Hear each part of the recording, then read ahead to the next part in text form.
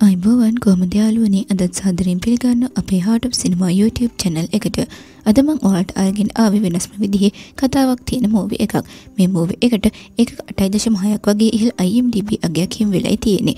ඉතින් මේ මූවි එක පටන් ගත්ත වෙලාවේ ඉඳලා අවසාන වෙනකම් වෙනස්ම අත්දැකීමක් දෙන මූවි එකක් කිව්වොත් හරියටම හරි. මූවි එකේ නම තමයි බලාපුරේ රූප් කෝතා. කතාව ගැන කෙටියෙන් කිව්වොත් මේ කතාවේ අවුරුදු 400ක් පැරණි මාලිගාවක් තියෙනවා. ඉතින් මේක අයිතිකරු වෙන්නේ රජ පරම්පරාවකින් පැවතගෙන එන භූපතිට. කොහොම වුණත් මෙයා මේ වෙද්දි ගොඩක් ණය වෙලයි ඉන්නේ. ඉතින් ණය ගෙවා ගන්න තියෙන එක විසඳුම තමයි මේ මන්දිරේ විකුණන එක. හැබැයි මෙතන තමයි ලොකුම ප්‍රශ්නේ තියෙන්නේ. මේ මාලිගාව එක ශාපයක් තියෙනවා. මේ ශාපය නිසා භූපතිට සිද්ධ වෙන කරදර එමටයි.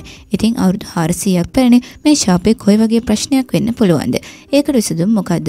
ඉතින් මේ ගැන දැනගන්න වීඩියෝ එක වෙනකම් බලන්න කියලා ආරාධනා කරනවා. ඉතින් වීඩියෝ එක බලන කලින් තාමත් අපේ channel එක subscribe කරලා නැත්නම් දැන්ම subscribe කරලා ඊට එහා පැත්තෙන් තියෙන bell icon එකත් click කරන්න. මේ වගේ ෆිල්ම් බලන්න ආස යාළුවන්ටත් වීඩියෝ එක share කරන්න.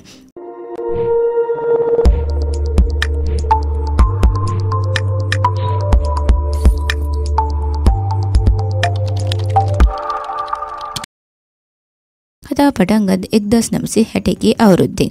මේ වෙලාවේ අපිට පෙන්වන්න එක රාත්‍රියක බලබූර් කියන ගමේ වෙන සිදුවීමක්. මේ කතාවේ ප්‍රධාන චරිතය වෙන භූපති මේ වෙලාවේ ඔරොකින් ගමට එනවා.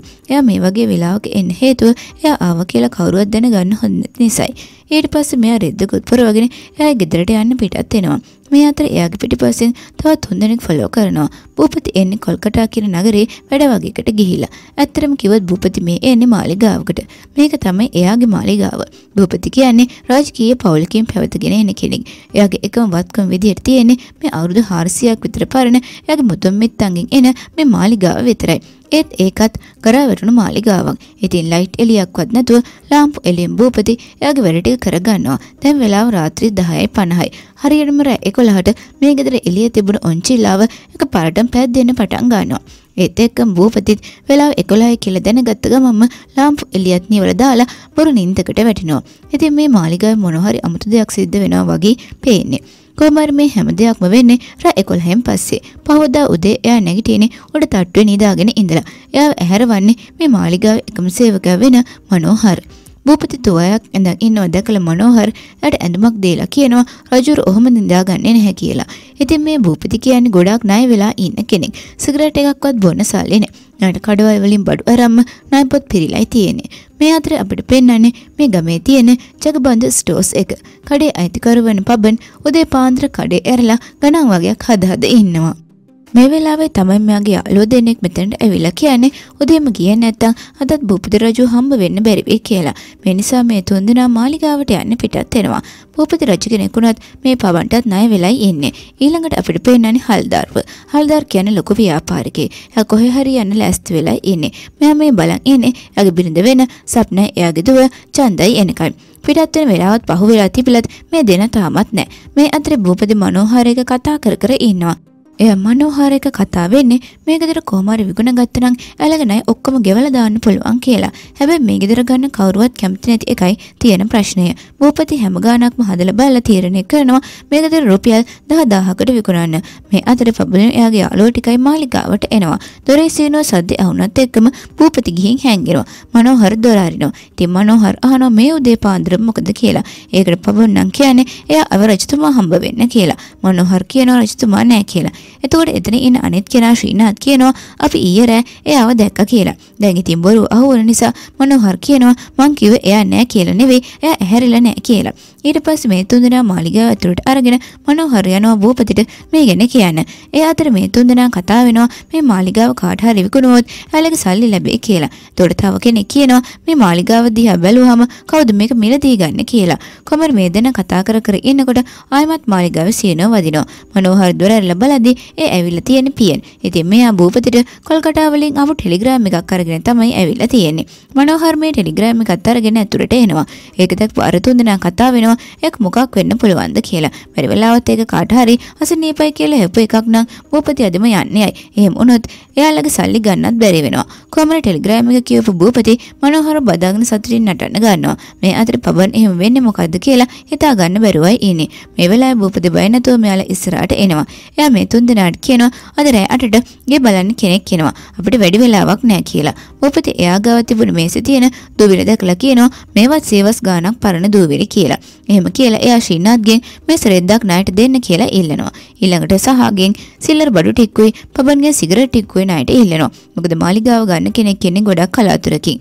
ඒ ආවත් මේකේ තත්ත්වය දැනගත්තාම ආපහු යනවා. මේ පාර භූපති උත්සාහ කරන්නේ මාලිගාවේ වටිනාකම් පෙන්නලා ගණන් කරුවන්ගේ හිත දිනා ගන්න. මේ වෙලාවේ මනෝහර් එළියේ රෙදිවනවන ඉන්නකොට මල් වෙලෙන් දෙක් යනවා දැකලා එයාට කතා කරනවා. මනෝහර් එයාට කියනවා අද රාට රෝස් මාල් ටිකක් ගෙනත් දෙන්න කියලා. මේ අතරේ භූපති මේ හැමදේම ඉක්මනට කරගන්න ඕන කිය කිය කලබලෙන් ඉන්නවා. එයා අර තුන් දෙනාට කියනවා බීපී හල්දාර් කියන්නේ ලොකු ව්‍යාපාරිකයෙක්. එයා රෑ අට වෙනකොට මෙහාට එනවා. ඒකෙන් මට විතරක් නෙවෙයි ඔයාලටත් වාසි වෙනවා කියලා. ඒ වෙනුම නටවත් නෙවෙයි මේ මාලිගාව විකුණ ගන්න පුළුවන් වුණත් එයාලගේ සේරම් ණය ටික ගෙවා ගන්න පුළුවන් නිසා. ඒ විතරක් නෙවෙයි භූපතිත් කොල්කටා ගිහිලා ඩෙන්ටල් එකක් දා ගන්නවා කියලා කියනවා. ඒ වෙලාව එතනට එන මනෝහරට භූපති කියනවා අද රෑට එන අයට හොඳ සලකන්න ඕන. රෑ කැම්ම දෙන්න ඕන කියලා. එතකොට මනෝහර් කියනවා මේ හැමදේම මට තනියම කරන්න බෑ. අනික රජගෙනෙක්ට එක සේවකයයිද ඉන්නේ ඉන්නේ කියලා. මේ වෙලාවේ භූපතිට අදහසක් එනවා. ඒ අර තුන්දෙනාව එයාලගේ උදව්වට යොදව ගන්න. මේක තේරුම් ගන්න මේ තුන්දෙනා මෙතනින් යන්න හදනවා. ඒත් භූපතිය යාලව නවත්තලා මේ ගැන පැහැදිලි කරලා දෙනවා. හබන් අහනවා අපි කොහොමද රැ වෙනකම් මේ ගෙදර ඉන්නේ කියලා. ඒතකොට භූපති කියනවා මං ඔයාලව 10 වෙනකොට යවන්නම් එතකම් පොඩක් රඟපාන්න කියලා. කොහමද මේ ගමේ ඉන්න අය දන්නවා රැ 11න් පස්සේ මේ මාලිගාවේ ඉන්න බෑ කියලා. ඉතින් භූපති කලින් යවන්නම් කියලා කොමර් එයාලා කැමති කරව ගන්නවා. මේ අතරේ අපිට පේනවා තවත් කෙනෙක් මේ ගමට එනවා. එයා එන්නේ භූපතිව හම්බ වෙන්න. එයා කවුද කියලා අපි ඉස්සරහට බලමු. ඒත් එක්කම කාරකේ එන්නේ හල්දාර් ඇතුළු පවුල. මේ දෙගොල්ලම එන්නේ මාලිගාවට. ඕන ඔය විදිහට කොල්කටා ඉඳන් හල්දාර් පවුල එන අතරේ භූපති මනෝහරි අර තුන් දෙනයි මේ මාලිගාව පිරිසිදු කරලා ලස්සනට සාසනවා. ඊළඟට මෙයාලා පුහුණු වෙන්නේ 아무තු ආවම රාජකීය විදිහට එයා පිළිගන්න විදිහ.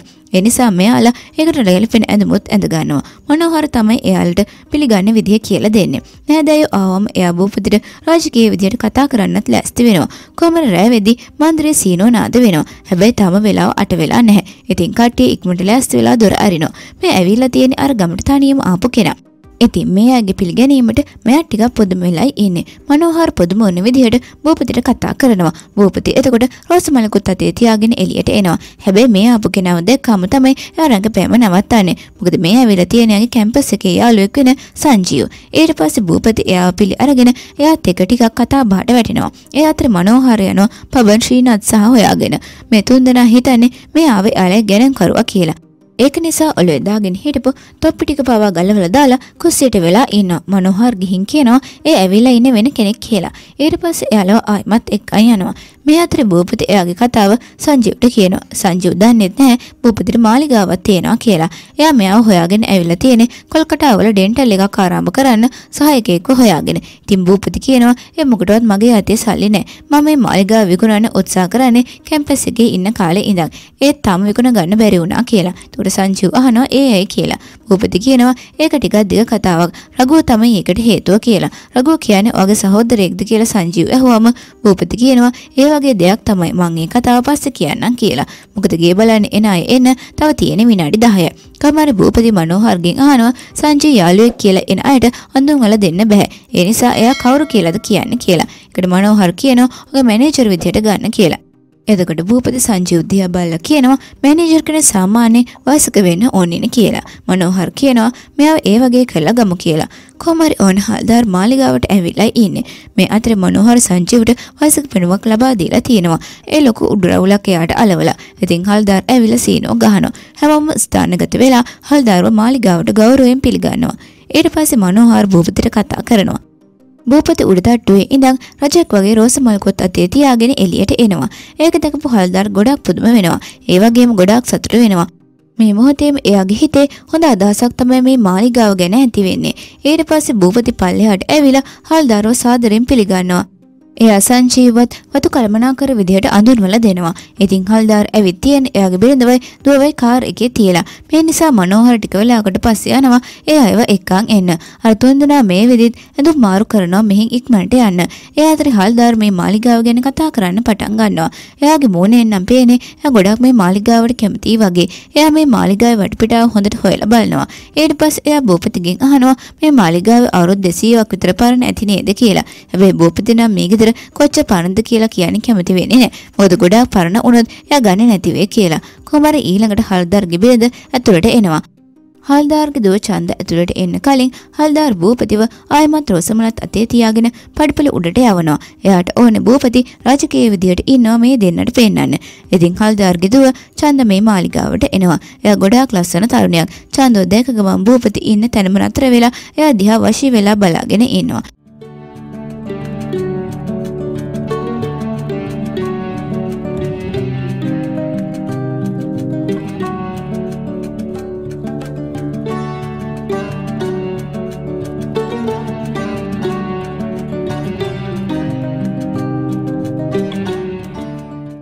ඊට පස්සේ භූපති මේ දෙන්න ළඟට ඇවිල්ලා හල්දාරගේ බිරිඳ සප්නව වගේම එයාගේ දුවවත් සාදරෙන් පිළිගන්නවා.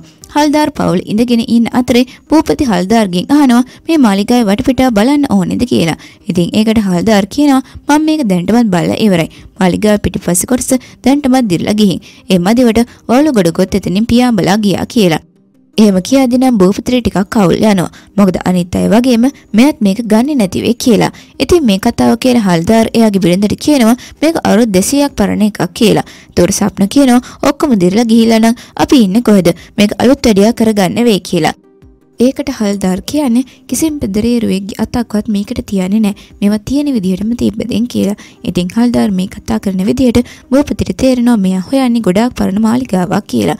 මේ නිසා භූපති හල්දාර්ගෙන් අහනවා ඔයා හොයන්නේ පරණ මාලිගාවක්ද කියලා. එතකොට හල්දාර් එහෙම නෙවෙයි නම් මම මේ එනවද කියලා භූපතිගෙන් අහනවා. ඒක ඇහුවම තමයි භූපතිට ලොකු සතුටක් දැනෙන්නේ. ඉතින් ඒ වගේ ගයක් හොයන්න හේතුව මොකද්ද ඇහුවම සප්නා කියන්නේ හල්දාර් කැමති ගොඩාක් පරණ මාලිගාවට. ඒ වෙන මොකටවත් නෙවෙයි හල්දාර්ට ඉන්නවා ප්‍රතිවාදියෙක් චෞද්‍රි කියලා. චෞද්‍රිත් හල්දාර් වගේම සබන් කම්පැනි එක්ක හිමිකරුවෙක්. මේ දෙන්න එකිනෙකාට තරං කරගන්නවා. ඉතින් චෞද්‍රි මිලදීගෙන තියෙනවා අවුරුදු 300ක් පරණ මාලිගාවක්. ඒකට හරියන තමා හල්දාරුත් ඊටත් වඩා පරණ ගෙදරක් හොයන්නේ. ඉතින් භූපති අහනවා ඒත් ඇයි පරණ ගෙවල් ගන්න අලුත් මිල අධික ගෙදරක් ගන්න පුළුවන් කියලා. ඒකට හල්දාර් කියනවා අලුත් ගෙවල් ඕන කෙනෙක්ට ගන්න පුළුවන්. ඒත් පරණ ගෙවල් එහෙම බෑ. මම මේ වගේ ගෙවල් ගොඩාක් හොයාගෙන ගියත් ඒව අවුරුදු 100ක් පරණයි කිව්වත් එයාලා කියන්නේ බොරු කියලා. ඕන දැන් භූපති හිතාගෙන හිටපු විදියට මෙයාලා හොයන්නේ හොඳ තත්ත්වයේ තිබෙන ගෙදරක් නෙවෙයි. මේ වගේ ගරාවටනු පරණ ගෙදරක්. ඒක නිසා භූපති හල්දාර්ට කියනවා මේ මාලිගාව කොච්චර පරණයිද කියලා කියන්නද කියලා. එහෙම කියලා භූපති කියනවා මේ මාලිගාව හැදුවේ 1561 දී. ඒ කාලේ ඉන්දියාව පාලනය කළේ අක්බර් රජු. එතකොට ඉඩම් හිමියන් ප්‍රදේශ පාලනය කළා. එහෙම කෙනෙක් තමයි බලප්පූර්වල රාමපති රජු. ඒ කියන්නේ මගේ මුතු මිත්තේ කියලා භූපති කියනවා. එයා තමයි මේ මාලිගාව හැදුවේ. ඔන්න මේ කතාව කිව්වට පස්සේ හල්දාර්ගේ කැමැත්ත තවත් වැඩි වෙන්න ගන්නවා. මොකද මේ මන්දිරය අවුරුදු 400ක්ම පරණයි. හල්දාර් කියනවා මේ කතාව මගේ ප්‍රතිවාදය චෞද්‍රි ලේසියෙන් විශ්වාස කරන්නේ නැහැ. එයාට සාක්ෂි ඕනේ කියලා. ඒක නිසා සාක්ෂි පෙන්වන්න භූපති කියනවා මේ මාලිගාව තියෙන පරණ පන්සල් බලන්න යමු කියලා. හැබැයි මේ රෑ වෙලා එළිය ඇවිදිනවට හල්දාර්ගේ බිරිඳ කැමති වෙන්නේ නැහැ. ඒකට හල්දාර් භූපතිගෙන් අහනවා අපි තවත් දවස් දෙකකින් වගේ ඇවිල්ලා බලන්නද කියලා. ඒකට භූපති බොරුවට කියනවා ඇත්තටම මට තවත් ගැනුම් කරුවෙක් ඉන්නවා. ඉස්සර වෙන කෙනාට තමයි මන්දිරේ විකුණන්න වෙන්නේ කියලා. ඉතින් මන්දිරේ නැති වෙයි කියන බයට හල්දාර් මේ දැම්මම පන්සල බලන්න යන්න කැමති වෙනවා. ඉතින් මේ දෙන්න ගියාට පස්සේ සත්මයි චන්දයි මේ මාලිගාවේ තනි වෙනවා. ටික වෙලාවකට පස්සේ සංජීව් එතනින් එළියට යන්න හදනකොට සත්න සංජීව්ට කතා කරලා කියනවා එයාලත් එක්ක ඉන්න කියලා. මේ නිසා සංජීව්ට මෙතනින් පැන ගන්න බැරි වෙනවා.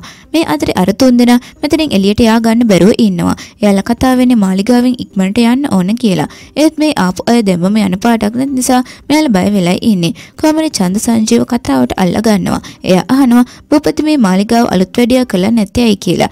ඒකට සංජීව් කියන්නේ එයාත් ඔයාගේ තාත්තා වගේ පරණ දේවල් වලට ආසයි කියලා. චන්ද කියනවා එහෙනම් එයා මේක විකුණන්නේ ඇයි කියලා. මෙහෙම ඇහුවාම සංජීවට දෙන උත්තරයක් නැහැ. මේ වෙලාවේ චන්දම අහනවා එයාට මේ ඉන්න තැන නිසාද කියලා. එතකොට සංජීවත් කියනවා ඔව් එයා විවාහ වෙලා නැති නිසා එයාට මේ මන්දිරේ තනියම ඉන්න බෑ කියලා. භූපති විවාහ වෙලා නැහැ කිව්වම චන්දට පොඩි උද්‍යෝගයක් එනවා. එයා අහනවා භූපතිට කිසිම නෑදෑයෙක් සහෝදරයෙක් නැද්ද කියලා. මේ අහන ප්‍රශ්න එක්කටව සංජීව උත්තර දන්නේ නැහැ. ඉතින් මෙයා භූපතිගේ රඝු කියලා කෙනෙක් ගැන කිව්ව එක චන්දට කියනවා. එයා කියන්නේ රඝු කියලා සහෝදරයෙක් භූපතිට ඉන්නවා කියලා. කුමර් මේ අතරේ හල්දාර් පන්සලට ගිහිල්ලා මන්දිරේ හදපු වර්ෂය බලලා සතුටින් එනවා. භූපති කියව විදිහටම මේක ගොඩාක් පරණයි කියලා. ඊළඟට හල්දාර් භූපතිගෙන් මිල ගණන් අහනවා. ඒකට භූපති කියන්නේ එයා තාම ඒක තීරණය කළා නැහැ. ඒත් අනිත් ගැනුම්කරු මේ මාලිගාවට 10000ක් දෙන්නම් කියලා කියවා කියලා. ඒක ඇහුවම හල්දාර් ඒ වෙලාවම චෙක් පොත අරගෙන රුපියල් 15000ක්ම ලියලා දෙනවා. හැබැයි මේක අත්තිකාරම් මුදලක් විතරයි. ඒතුළු ටික එයා පස්සේ දෙන්නම් කියලා කියනවා. ඉතින් භූපති කියනවා මට වැඩිපුර ඕනේ නැහැ මට ඕනේ රුපියල් 10000ක් විතරයි කියලා. එහෙම කිව්වා මේ අය පුදුම වෙනවා. හැබැයි ඒක වෙනස් කරන්න කලින් එතනට මනෝහර් ඇවිල්ලා රෑ කෑම ලෑස්ති කියලා කියනවා. රෑ කෑමට මෙයාලා යන වෙලාවේ හිමීට සංජීව් එතනින් මාරු වෙලා යනවා. ඒක දැක්පු චන්දත් එයා පස්සෙන් යනවා. සංජීව් කාමරයකට ගිහින් රැවුල ගලවලා දාලා සිගරට් එකක් බොන්න හදනකොටම චන්ද එතනට ඇවිල්ලා අහනවා ඔයා කෑම කන්නේ නැද්ද කියලා. ඉතින් සංජීව්ට කර කියා ගන්න දෙයක් නැති වෙනවා. මොකද එයාගේ උඩු රැවුලත් ගලවලා දාලා තිබුණ නිසා. චන්දගේ ඉවරයක් නැති ප්‍රශ්න වලට එක එක උත්තර දීදී ඉන්නකොට එතෙන්ට භූපති ඇවිල්ලා චන්දව කෑම කන්න එක්කන් යන්න හදනවා. ඒ වෙලාවේ චන්ද භූපතිගෙන් අහනවා ඔයාගේ නෑද අය මට අඳුන්වලා දෙන්නේ නැද්ද කියලා. ඒකට භූපති කියනවා මට කවුරුවත් නෑ කියලා. උඩ චන්ද අහනවා එන රඝු කියන්නේ කවුද කියලා. ඒ වෙලාවේ භූපතිගේ මොන එක පාරටම අවුල් යනවා. භූපති අහනවා කවුද ඒ ගැන කීවේ කියලා. ඡන්ද ඒ ගැන කීවේ සංජීව් කියලා කියනකොට භූපති කියනවා සංජීව් දුර්චාරිකාවක් ගිහින් ඉඳලා ආවේ. ඒ නිසා එයා ඒ ගැන තාමත් දන්නේ නැහැ. රඝු දැන් අපි අතර නැහැ කියලා. එහෙම කියලා භූපති ඡන්දව කෑම කන්නේ එක්කන් යනවා. ඇත්තට මේ රඝු කවුද කියලා අපි කතාව ඉස්සරහට බලමු. ටික වෙලාවකට පස්සේ භූපති ඇවිල්ලා සංජීව්ගේ ඇඟට කඩා පැනලා අහනවා මොකටද රඝු ගැන යාට කීවේ කියලා. ඒ වෙලාවේ සංජීව් කියනවා එයා ඒ ගැන කිසිම දෙයක් දන්නේ නැණි කියලා. ඒකට භූපති චෙක් එක පෙන්නලා කියනවා මේ වැඩේ හරියනකම් අය නොදන්න දේවල් මොකුත් කියන්න යන්න එපා කියලා. එහෙම කියලා භූපති එතනින් ගිහින් චන්ද එක මේ මාලිගාව පොඩ්ඩක් බලනවා. මාලිගාව එල්ලලා තියෙන ෆොටෝ වලින් එක පරණ ෆොටෝ එකක මොන හූරලා දාලා තියෙනවා. මේ ගැන ඇහුවම් භූපති කලබලෙන් වගේ කියන්නේ ඒ මීයන්ගේ වැඩක් කියලා. කොහමද රෑ කෑමට පස්සේ හල්දාර් පවුල මේ ගෙරින් පිටත් වෙනවා. ඒත් එක්ක පබුණු එයාගේ යාළුවෙත් රෑ 11 වෙන්න කලින් ඉක්මනට මෙහෙන් යනවා. ඔක්කොම ගියාට පස්සේ භූපති සංජීවට කතා කරනවා. භූපති සතුටින් ඉන්නේ 11ට කලින් කොහොම හරි අර කට්ටියව යවා ගත්ත නිසා. නැත්තම් මේ සල්ලි එයාට ලැබෙන්නේ නැහැ. එයා කියනවා හල්දාර්මට 25000ක් දෙන්න හැදුවත් ඒත් මම ඒක ප්‍රතික්ෂේප කළා කියලා. ඒකට සංජීව් කියනවා මාලිගාවත් අවුරුදු 400ක් විතර පරණයි. ඔයා එයාට වංචාවක් කළෙත් නැහැ. එයාමයි ඒ මුදල දෙන්න හැදුවේ. එහෙනම් ඇයි ඒක ප්‍රතික්ෂේප කරේ කියලා. ඒකට භූපති කියනවා ඒ උනත් එයාලා රඝු ගැන දන්නේ නෑ කියලා. එයාලා විතරක් නෙවෙයි සංජීව් රඝු ගැන දන්නේ නැති නිසා ඔන්න භූපති මේ හැම වෙලාවෙම කියන රඝුගේ කතාව දැන් කියනවා. හැබැයි ඒ කතාව කියන්න කලින් හල්දාර් පවුල ආයම කොල්කටා බලා යන්න පිටත් වුණාට පස්සේ අතරමඟදී එයාලගේ කාර් එක කැඩෙනවා. කාර් එක තල්ලු කරගෙන යන්න හැදුවත් මේ වැඩේ හරියන්නේ නැති නිසා චන්ද කියනවා අපි ආපහු භූපතිගේ මාලිගාවට යමු කියලා. කොහමරි භූපති රඝු ගැන සංජීවට කියනවා. මේ හැමදේම පටන් ගන්නේ 967 වෙනි ශක යුගයේ රාමපති කියන රජුට ඉන්නවා රඝු කියලා මුණුබුරෙක්. හැබැයි එයා සටන් වලට දක්ෂ කෙනෙක් නෙවෙයි. එයාට පෙම්වතියන් ගොඩක් ඉන්නවා. එයා ලස්සන ලස්සන ගෑනු ළමයින්ට ඇල්ම බැල්ම දානවා. ඒ විතරක් නන් නෙවෙයි රඝු හොඳ කවියෙක්. කොහොමරි ඉන්ද්‍රනායන කියන මොගල් වංශික රජ කෙනෙක් මේ රාමපති ඒක ගොඩක් තරහිනුයි ඉන්නේ. ඉතින් ඒ බලපෙදෙස යටත් කරගනිමින් යුද්ධයක් පටන් ගන්න හිතාගෙන ඉන්ද්‍රනාරයන් පණිවිඩකරුවෙක් අතේ රාමපති වගේම එයාගේ පුතා රඝුව පහත් කරලා ලිපියක් යවනවා. ඒක කියපු රාමපති රජු මේ ආපු පණිවිඩකරුට කසපාර 200 200ක් දෙන්න කියලා රඝුවට එන්න කියනවා. රඝු ආවට පස්සේ රාම්පති රඝුවට මේ ගැන කියනවා. ඊට පස්සේ රඝුවට කියනවා මං දැන් ගොඩක් වයසක නිසා ඔයා ඉන්ද්‍රනාරයන් එක යුද්ධයක් කරන්න කියලා. හැබැයි ඒකට රඝු කැමති වෙන්නේ නැහැ. මේ නිසා රාම්පති කියනවා රඝු අනිවාර්යයෙන්ම එයාගෙන් පරිගන්න ඕනේ. පරිගත්තේ නැත්නම් රඝුවට මේකෙන් කවදාවත් ගැලවීමක් නැහැ. පරිගන්නකන් නිදහසක් ලැබෙන්නේ නැහැ කියලා. ඒක හරියට ශාපයක් වගේ. ඉතින් රජුගේ ඒ වචනට රඝු එයාගේ පෙම්වතියන්ට සමුදීලා යුද්ධයකට යනවා. කොමරි යුද්ධයට යන අතරේ ඉන්ද්‍රනායනගේ සෙබළු ටිකක් දිල්ලි වලින් එයාට ලැබුණු කාලතුවක්වා පරීක්ෂා කරන ගමනුයි ඉන්නේ. ඒක පරීක්ෂා කරලා බලන්න මේ අය එක වෙඩිල්ලක් තියෙනවා. ඒ වෙඩි තියන්නේ රඝු එහෙම ඉන්න පැත්තට. කොමරි අවාසනාවට වගේ ඒ කාලතුවක්කු බෝම්බේ කෙලින්ම ඇවිත් රඝුවට වැදෙනවා. ඒත් එක්කම රඝු එතනම මැරෙනවා. ඉතින් මේ ආරංචිය දැනගත් රාම්පති රජුත් පපුවේ අමාරුවක් හැදෙලා මැරෙනවා. හැබැයි එයා මැරෙන මොහොතේ තර ශාපේ කරනවා. ඒ ඉන්ද්‍රනාරායන්ගෙන් පලිගත්තේ නැත්නම් රගෝට නිදහසක් නැහැ කියන එක. ඉතින් රගෝට ඒ කියපු වචන නිසා ඉන්ද්‍රනාරායනගෙන් පලිගන්නකම් එයාගේ ආත්මය මේ මාලිගාවේ සදාටම හිර වෙනවා. ඉතින් මේ කතාව ඉවර වෙලා භූපති කියනවා ඉන්ද්‍ර නාරායණගෙන් පැවත එන්නෙක්වත් ඉන්නවද කියලා මන් දන්නේ නෑ කියලා. කොහොමරි ඕක තමයි රඝුගේ කතාව. හැබැයි භූපතිගේ යාළුවා සංජීව් නම් ඒක විශ්වාස කරන්නේ නෑ. එයා කියන්නේ ඒක ලස්සන සුරංගනා කතාවක් නේ කියලා. ඒ වෙලාවේ මේ මාලිගාව අතරින් කවුරු හරි හයියෙන් hina වෙනවා ඇහෙනවා. ඒ hinaවත් එක ගෙදර සීනුව නාද වෙනවා. එළියෙන් හල්දාර්ගේ කටහඬ ඇහෙනවා. භූපති හොඳටම බය වෙනවා. එයා සංජීව්ට මොනවා හරි මේකට කරන්න කියලා රඝු ගැන බලා ගන්න යනවා. සංජීව් ගිහින් දොර අරිනවා. හල්දාර හැම ගේ ඇතුළට එනකොටම දකිනවා සංජීව්ගේ රැවුල නෑ කියලා. ඒකට සංජීව් කියන්නේ එයා රැවුල කැපුවා කියලා. එතකොට චන්ද අහනවා එච්චර ලස්සන රැවුල කපලා දැම්මේ ඇයි කියලා. කාගෙන් බේරුණා චන්දගෙන් තමයි මෙයාට බේරෙන්නම බැරි. ඉතින් මේ කතාව වෙන පැත්තකට හැරෙන්නේ රඝුගේ හිනාව ආපහු ඇවුණු නිසා. රෑ 11ත් පහු වෙලා තියෙන නිසා රඝුගේ ආත්මය දැන් මුළු මාලිගාව පුරාම සැරිසරනවා. මේ වෙලාවේ හල්දාර් සංජීව්ගෙන් අහනවා ඒ හයියෙන් hina උනේ කවුද කියලා. සංජීව්ට කියා ගන්න වචන එන්නේත් නැහැ. එයාත් හොඳටම බය වෙලා ඉන්නේ. කොහමරි චන්ද අහනවා ඒ භූපතිද කියලා. ප්‍රශ්න අහලා එයාම උත්තර දෙන්න නිසා චන්ද ආපහු කියනවා ඒ භූපති වෙන්න ඇති කියලා. සංජීව්ත් ඉක්මනට ඔව් කියලා කියනවා. මේ අතරේ භූපති හැමතැනම රඝුව හොයනවා. මේ වෙලාව රඝුගේ ආත්මේ කවියක් කියන්න පටන් ගන්නවා. ඔයාලට මතක ඇති රඝු කියන්නේ හොඳ කවියෙක්. හැබැයි එයා සංස්කෘත භාෂාවෙන් තමයි මේ කවි කියන්නේ. ඉතින් භූපති මෙයාලගේ ඉස්සරහට එනවා.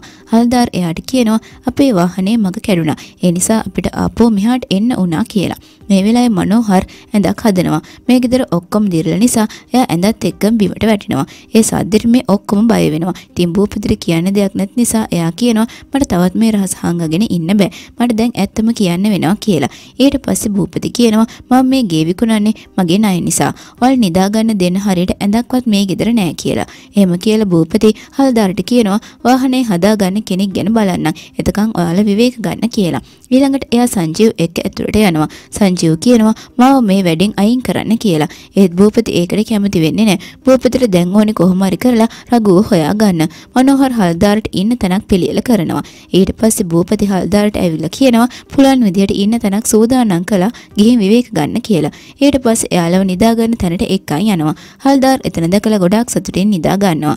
මේ අතර රඝුගේ ආත්මය මාලිගාව පුරාම සැරිසරනවා. එයා සංජීව් ඉන්න තැනනොත් යනවා. ඒක සංජීව්ට දැනෙනවා. හැබැයි එයා බයට හැරිලා බලන්නේ නැහැ. ඒ විදිහට මනෝහර ඉන්න තැනනුයි හල්දාර් ඉන්න තැනනුත් රඝු යනවා. මේ අතරේ භූපති සංජීව් ළඟට එනවා. සංජීව් අහනවා ඔය රඝුවට කතා කළාද කියලා.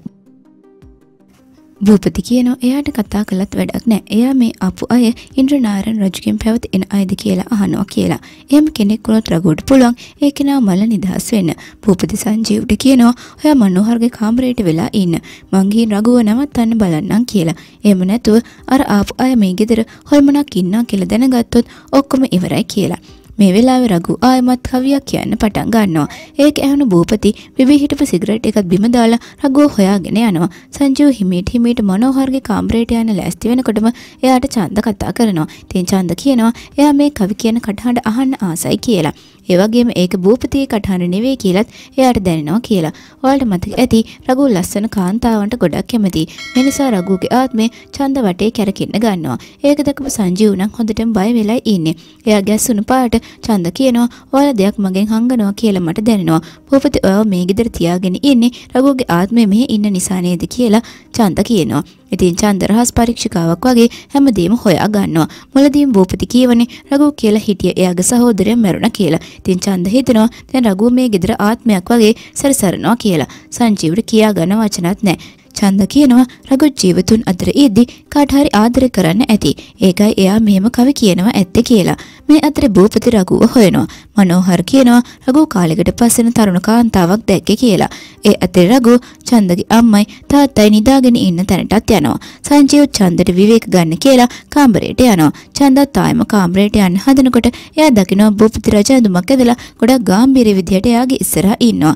ඒක දැකපු චන්ද අහනවා ඇයි ඔයා කලින් මේ ඇඳුම් ඇඳගෙන හිටියේ නැද්ද කියලා. භූපති ඒ මුකුත් කියන්නේ නැතුව කවි කියන්න පටන් ගන්නවා. හැබැයි ඇත්තට මේ ඉන්නේ භූපති නන් නෙවෙයි රඝු. රඝුත් භූපති වගේ නිසා තමයි එයාට අඳුර ගන්න බැරි වෙන්නේ. ඉතින් රඝුගේ ආත්මය කියන කවි වලට ඡන්ද වශී වෙනවා. ඊට පස්සේ මේ දෙන ටිකෙන් ටික ලං වෙනවා. ඒ වෙලාවෙ මෙතෙන් එන ඡන්දගේ අම්මා ඡන්දට කෑගාලා හොඳටම බනින්න ගන්නවා. අම්මත් හිතාගෙන ඉන්නේ මේ ඉන්නේ භූපති කියලා. එයා භූපතිට වංචාකාරයා කියලා බනිනවා. ඡන්දටත් එයාගේ කාමරයට යන්න කියලා කියනවා. භූපති මේ හැමදේම හැංගිලා බලාගෙනයි ඉන්නේ.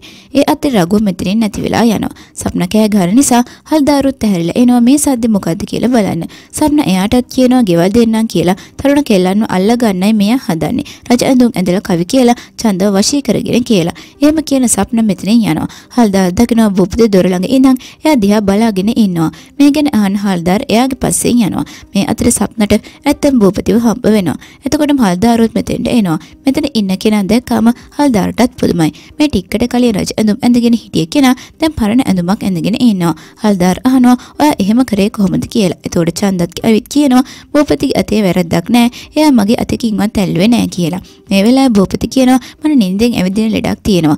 ඒ වෙලාවේදී මට නිින්දෙන්ම කවි කියවෙනවා. මම මේ දේවල් කරන්නේ නොදැනුවත්ත කියලා එයා මේ තුන් දෙනාට කියනවා. ඉතින් මේක අහගෙන හිටපු චන්ද එතනින් අඬ අඬා දුවගෙන යනවා. සප්නත් චන්ද පස්සෙන් යනවා. හැබැයි මේ කියපු දේවල් හරදාල්ට නම් සැකයි. එයා කියනවා මං ඔයා හොයාගෙන ඔයාගේ පස්සෙන් යනකොට ඔයා රජ ඇඳුමෙන් සැරසිලා හිටියා. ඊට පස්සේ මං ඔයාට කතා කළත් ඔයා මොකුත් කියන්නෙම නැතුව ගියා. මා දිගටම පස්සෙන් ආවා. එහෙම ඇවිත් මෙතෙන්ට එද්දි ඔයා මෙතන වෙන ඇඳුමකින් ඉන්නවා. එහෙම කියලා හල්දාර් කියනවා. මේක මෙහෙම වෙන්න බෑ.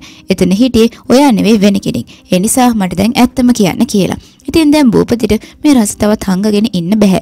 එයා කියනවා ඒ තමයි රඝුපති. එයා තමයි රාම්පතිගේ පුතා. ඒ කියන්නේ මේ මාලිගාව හදපු කෙනාගේ මොනපුරා. එයා දැන් මැරිලා අවුරුදු 400ක් විතර වෙනවා කියලා. හල්දාර් එතකොට අහනවා රඝු දැන් මේකේ හොල්මනක් වෙලා ඉන්නවද කියලා. ඉතින් අන්තිමේදී හල්දාර් මේ හැමදේම දැනගත්තට පස්සේ භූපති හල්දාර් දීපු චෙක් එක ආපහු එයාටම දෙනවා. මොකද හොල්මනක් ඉන්න ගෙදරක් කවුරුවත් ගන්නෙ නැහැ. හැබැයි මේ වෙලාවේ හල්දාර් කියනවා මටත් ඔයාට දෙයක් කියන්න ඕන. මම මේකේ අඩු මුදලකට ඔයාගෙන් ගත්තා. ඒ දැන් හොල්මනක් එක්ක මේ ගෙදර ගන්නවා කියන්නේ මං කරන්නේ අපරාධයක්. ඒක නිසා තවත් 40000ක් වැඩිපුර ගන්න කියලා හල්දාර් කියනවා. ඉතින් බෝපදිට පුදුමයි හල්දාර්ගේ කතාව ඇහුවාම. මොකද එයා හිතුවේ හොල්මන් ඉන්න නිසා හල්දාර් මාලිගාව ගන්නේ නැති වෙයි කියලා. ඒත් හල්දාර් කියන්නේ චාදුරිට ඕන තරම් පරණ ගෙවල් හොයා ගන්න පුළුවන්. හැබැයි එයාට හොල්මනක් එක ගයක් කවදාවත් ලැබෙන්නේ නැති වෙයි. එතකොට එයාට ගොඩක් තරහයයි කියලා. කොහමරි ඒ වෙලාව හල්දාර්ගේ බිරිඳ සප්න ඇවිල්ලා කියනවා අපි මේ ගෙදර ගන්නේ නැහැ කියලා. හල්දාර් භූපතිට කියනවා හොල්මන් ඉන්න කතාව සප්නට චන්දටයි කියන්න.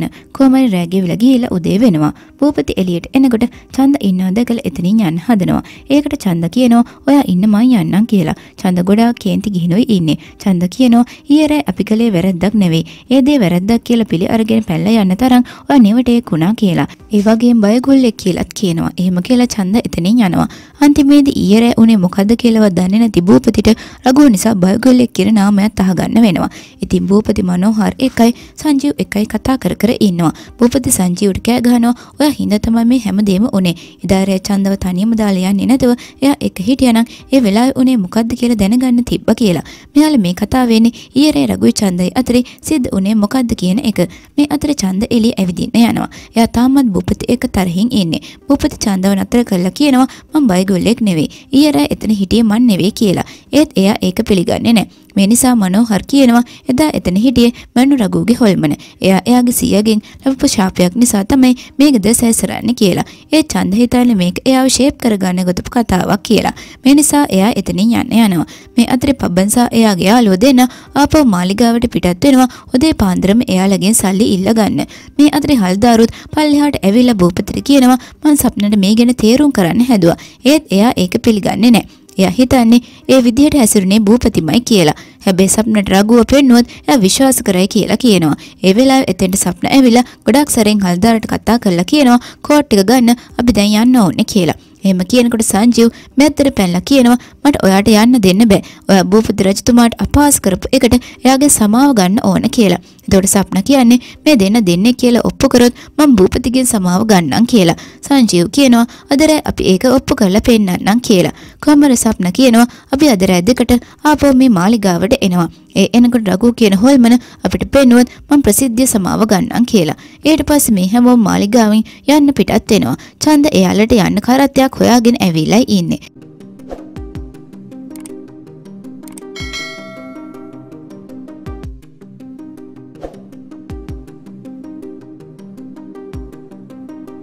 කොහොමරි හල්දාර පවුල මාලිගාවෙන් පිටත් වෙනකොට එදා රෑ තවත් කෙනෙක් මේ මාලිගාවට එනවා. මේ වෙන කවුරුවත් නෙවෙයි හල්දාර්ගේ ප්‍රතිවාදියා වෙන චෞද්‍රි. හැබැයි භූපති දන්නේ නැහැ මේ කවුද කියලා. චෞද්‍රි මාලිගාවට ඇවිල්ලා භූපති එක්ක මේ මන්දිරේ විකිණීම ගැන කතා කර කර ඉන්නවා. භූපති කියන්නේ එයා දැන්ටමත් මේ ගෙදර විකුණලා ඉවරයි. ඒ වගේම කොන්තරාත්තුවේ හෙට අනිද්දා දිහාට අත්සන් කරනවා කියලා. ඒ වෙලාවේ මාලිගාවට හදිසියෙම හල්දාර් පවුල එනවා. එයාට චෞද්‍ර ඇවිත් කියන ආරංචිය කොහෙන් හරි ලැබිලා. ඉතින් හල්දාර් ඇවිල්ලා චෞද්‍රිට කෑ ගහනවා. එයා කියනවා මං දැනගෙන හිටියා තමුන් ඕනෙම දුරක් ගෙවාගෙන මේ එනවා කියලා. හැබැයි දැනටවත් මේ ගෙදර මම මිල දීගෙන ඉවරයි කියලා. ඉතින් ඒකට චෞද්‍ර කියනවා හල්දාර් ඔයා වගේම මමත් මේ ගෙදරට කැමතියි. හැබැයි මං අවුරුදු 487ක් පරණ ගෙදරක් මිල දී ගත්තා කියලා. මේ වෙලාවේ හල්දාර් කියනවා ඔයා මටත් වඩා පරණ ගෙදරක් ගත්ත එක හරි. හැබැයි හොල්මනක් එක්ක ඔයාට ගයක් ලැබෙන්නේ නැහැ කියලා. ඉතින් මේ ගෙදර හොල්මනක් ඉන්නවා කියන එක චෞද්‍රි විශ්වාස කරන්නේ නැහැ. එතකොට භූපති කියනවා තවත් විනාඩි දෙකකින් ඔයාට එයාව බලා ගන්න පුළුවන් කියලා. කොහමයි රැය 11 වෙනකොටම රඝුගේ hina මුල් මාලිගාවෙම ඇහෙන්න ගන්නවා. හැබැයි රඝු චන්දගේ අම්මා දැක්ක විතරයි ආපහු හැංගෙනවා. භූපති සංජීව් එක රඝුව හොයාගෙන යනවා. ඒත් ඒ වැඩේ සාර්ථක වෙන්නේ නැහැ. එයා මේ කට්ටියට ඇවිත් කියනවා රඝු ඔයාලා ඉස්සරහට එන්න කැමති නෑ. ඒ චන්දගේ අම්මා ඊයේ රෑ එයාට බැලලා බය කරපු නිසා කියලා. ඉතින් මේ නිසා චාද්‍ර හිතන්නේ මේ හොල්මන් කතාව බොරු එකක් කියලා. චෞද්‍ර කියන දේවල් වලට භූපතිට හොඳටම තරහ යනවා. චෞද්‍ර කියන්නේ මේක අවුරුදු 400ක් පරණත් නෑ. මේක ඇති හොල්මනකුත් නෑ. මොකද මගේ මුතුන් මිත්තනොත් හිටියේ මේ ගමේමයි. බාලප්පූර් මාලිගාව මේ වෙනකන් තියෙනවා කියන එක විශ්වාස කරන්නත් බැරි දෙයක්. මගේ මුතුන් මිත්තන් ඉන්ද්‍ර නාරායන රජුගෙන් පැවතගෙන එන්නේ කියලා. ඒක ඇහුණු භූපති ගොඩාක් සතුට වෙලා කෑ ගහනවා. එයා කෙලින්ම යන්නේ රඝු ඉන්න තැනට. එතෙන්ට ගිහින් රඝුවට කියනවා "ඔයාගේ කාලේ ඇවිල්ලා. අපේ මන්දිරයට ඉන්ද්‍ර නාරායනගෙන් පැවත එන කෙනෙක් ඇවිත් ඉන්නවා" කියලා. ඒ ඒක ඇහුණු රගෝ ගොඩාක් සතුටින් ගිහිල්ලා චෞද්‍රි ඉස්සරහා පෙනී ඉන්නවා. චෞද්‍රි බය වෙලා වෙඩි තිබ්බත් ඒ එක වෙඩිල්ලක්වත් වදින්නේ නැහැ. මේ වෙලාව රගෝ අය කඩුව අරන් චෞද්‍රිට අණ කරනවා එයාගේ නහය බිම අතුල්ලලා සමාව ගන්න කියලා. ඉතින් චෞද්‍රි බයටම එයාගේ නහය බිම අතුල්ලනවා. ඉතින් ඒ විදිහට රගෝගේ සීය කරපු ශාපයෙන් රගෝගේ ආත්මය නිදහස් වෙනවා. ඒ වගේම මාලිගාවෙනුත් යන්නම යනවා. කතාවේ අවසානයේ විදියට හල්දාර් මේ නිවස මිලදී ගන්නවා වගේම භූපතිට එයාගේ ණය ගෙවා ගන්නත් පුළුවන් වෙනවා. ඒ විතරක් නෙවෙයි චෞල්ද්‍රි හල්දාරු යාළුවොත් වෙනවා. සංජීව තාපෝ එයාගේ ගෙදරට යනවා. චන්දගේ අම්මා චන්දව භූපතිට විවාහ කරලා දෙන්නත් කැමති වෙනවා. ඒක නිසා භූපති රජුගේ කතාව සතුටුදායක අවසානයක් විදිහට ඉවර වෙනවා. ඉතින් අද වීඩියෝ එක රස විඳනනම් අපේ channel එක subscribe කරන්න, like කරන්න, යාළුවන්ටත් share කරන්න. තවත් මේ වගේ සුපිරි මූවි එකකින් ආයෙමත් හම්බ වෙමු.